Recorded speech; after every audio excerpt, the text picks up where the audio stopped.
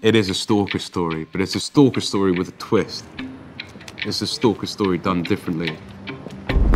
Every now and again, I have these sort of giddy bursts of excitement where I'm almost like a kid back at school. And then I have these bouts of, oh my God, everyone's gonna know my shit. Oh my God, everyone's gonna know what happened to me.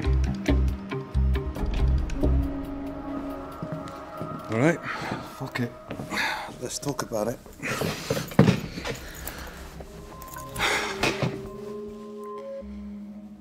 Forty-one thousand and seventy-one emails, 350 hours of voicemail, 744 tweets, 46 Facebook messages, four fake Facebook accounts, 106 pages of letters, and one cup of tea.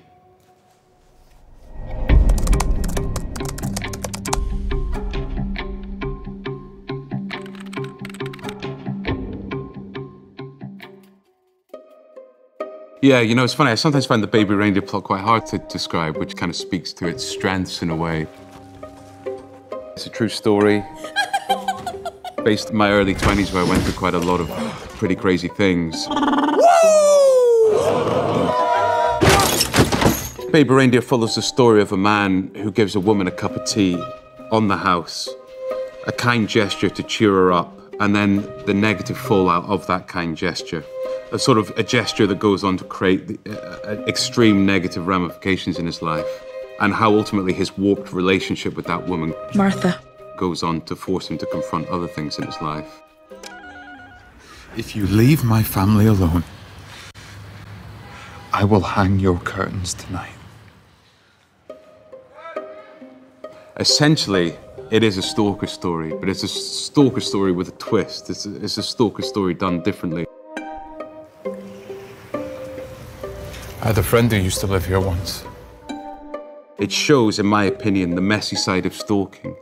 The side of stalking which isn't necessarily black and white. You can't call me a stalker! Well, you're the one creeping around my house at night. Peering in through my windows. Sending me emails begging for my bumhole! I'm aware that Baby Reindeer touches on themes that are quite current and quite present in society, but I, I like to think it doesn't form an opinion or, or ram a certain sense of morals down, down people's throat.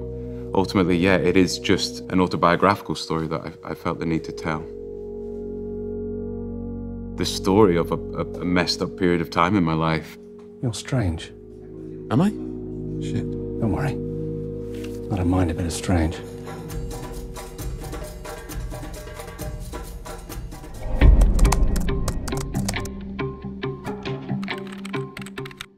Yeah, the stand up in the early years was terrible. You're shite!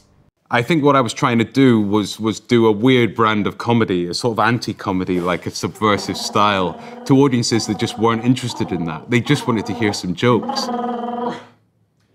So my mum died today. I alienated people en masse. Really? When the real life Martha turned up, who thought I was hilarious, she might have been the only one on the planet that found me hilarious. So it was galvanizing. I loved that. I loved somebody laughing at all my jokes.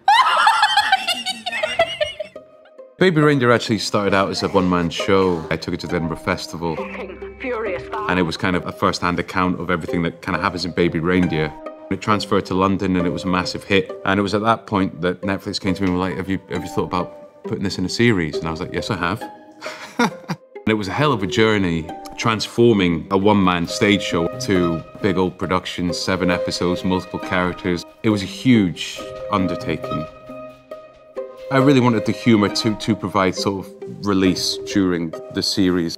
You know, with a show like this that goes to the territory it goes to, I, I just knew that without laughter along the way, it could have been a very, very dark experience indeed. Yeah. You say this woman's stalking you? Yeah, she comes to my work, she comes to my house. She sends me emails like like like all the time. Yeah.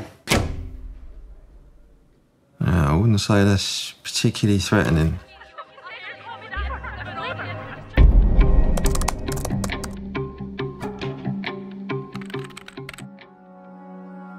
So during Baby Reindeer, there's there's the flashback episode where we actually go back in time to Donny going to the Edinburgh Fringe, meeting someone in the industry who who takes him under their, their wing, helps them uh, in their career, but but goes on to abuse Donny.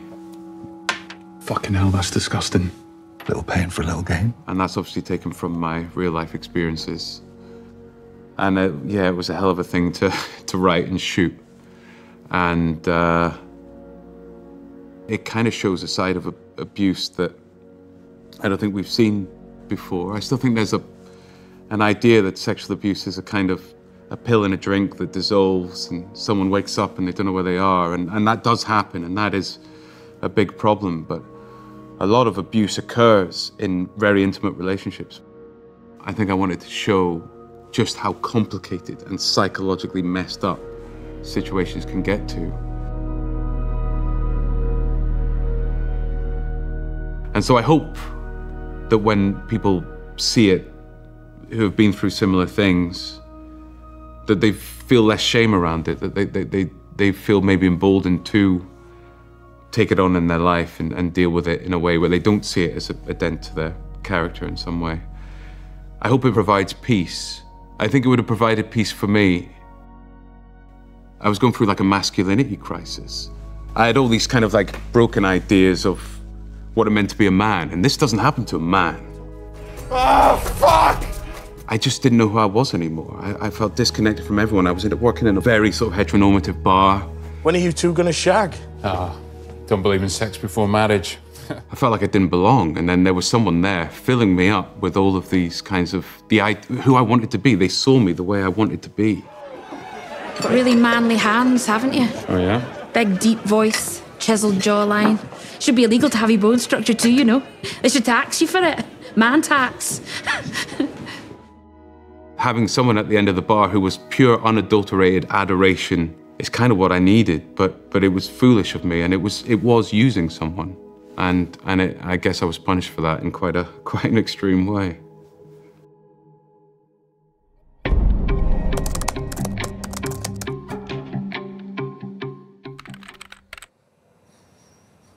Jesus Christ, Martha, how long you been sitting out here for? Things got pretty out of control. I was going through so many different crises at once. I was sort of trying to come to terms with the past. I was trying to come to terms with the present and figure out how to, to solve this situation with Martha.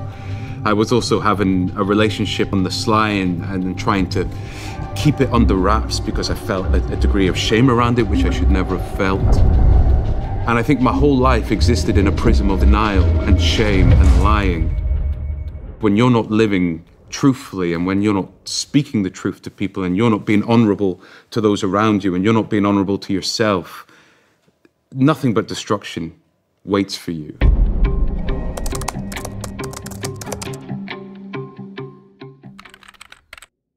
Some people run away by packing their bags, others run away by standing in the same place for too long.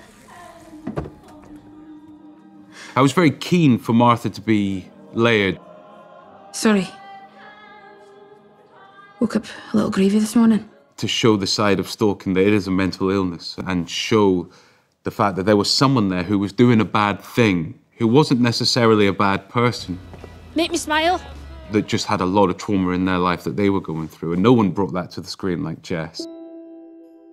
When I was on stage, I would sort of play Martha. I would sort of be like, Can I offer you a cup of tea? No, thanks.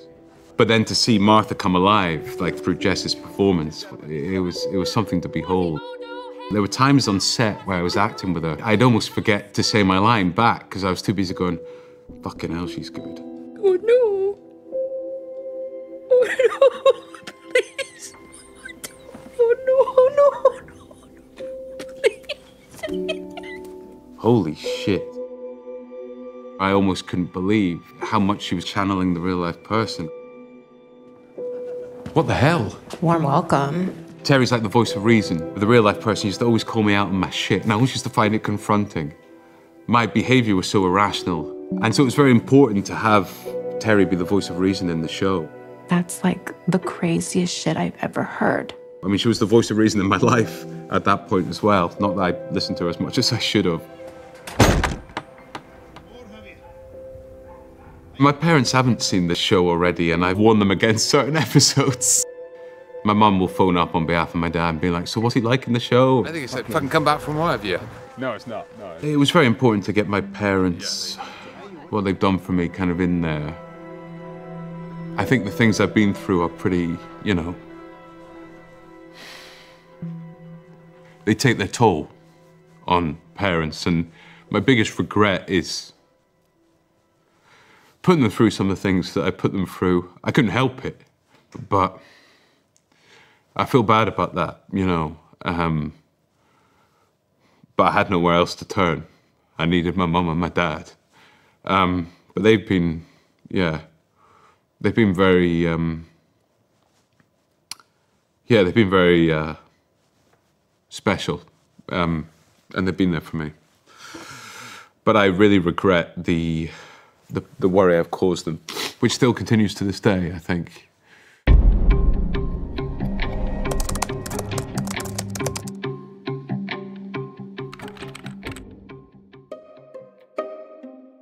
I think there's a lot of people who are going to want to drill into the debate around the show, the morality of the show itself. My ultimate hope is that it moves people and that it touches people and it affects people. This fucking world. All it does is take from you. I want people to feel a sense of peace around it and people who've been through similar things to feel a great sense of comfort in it. I ultimately want it to stand on its own two feet as a really good piece of art and a good television show. That's what I hope. I can't control how this is going to be received. And I can't control how people are going to see me as a result of this show. And that's kind of uncomfortable. My main hope is that people see the place where it came from. It's born out of true events, it's born out of a real life happening.